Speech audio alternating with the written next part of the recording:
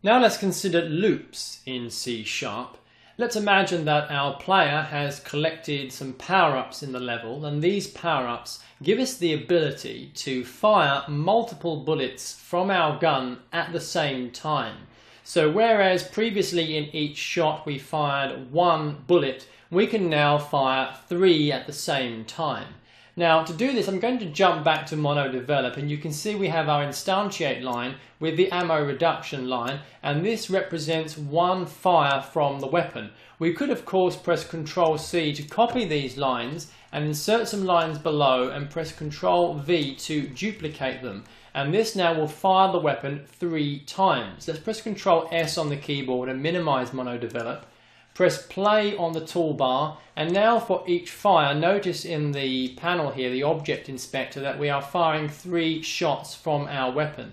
So I press, uh, I set that to 10, I press spacebar, and it's reducing by three each time because each press represents three shots. Let's return to MonoDevelop. This copy and paste routine works fine, but it's rather tedious to do it three times. And in fact, if we wanted to fire 20 or 25 shots, we would have to then copy and paste that number of times.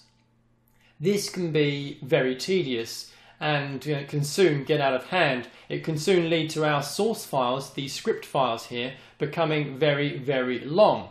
Instead, we can save ourselves a lot of work by using loops. Let me just delete these two duplicate lines here. And there are many different kinds of loops that we can use, but the key ingredient of loops is that it repeatedly performs the same behavior.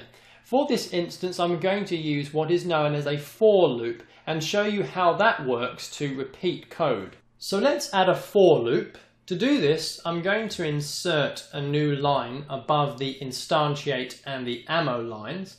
Now the syntax for the for loop may at first sight appear rather peculiar, but I'm going to write it out in full first and then explain to you what it does.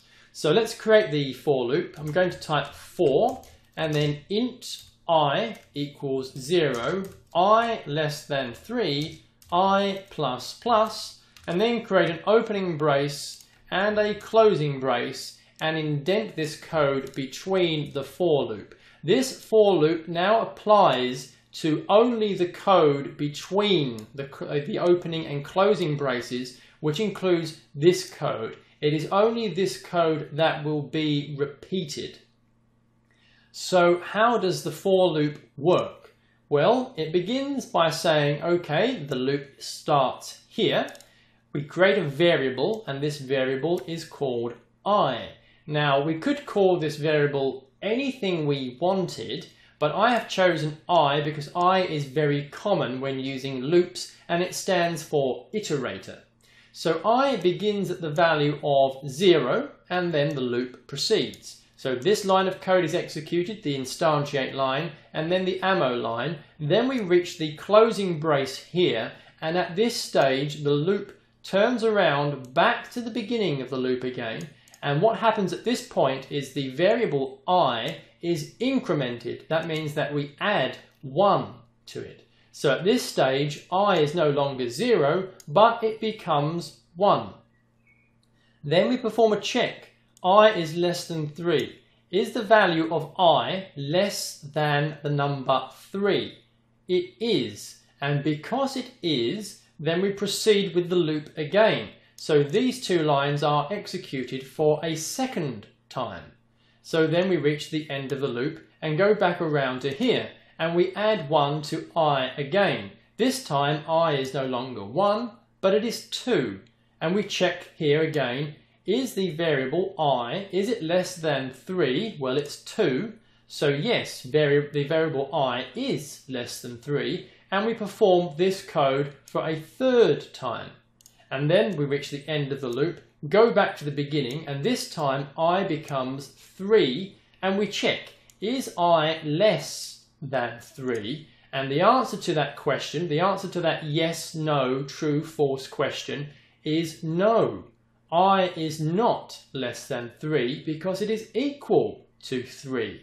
And so at this point, the loop is now ignored and execution resumes at the end of this line and it carries on as normal now that the loop is completed. So this loop will fire our weapon three times.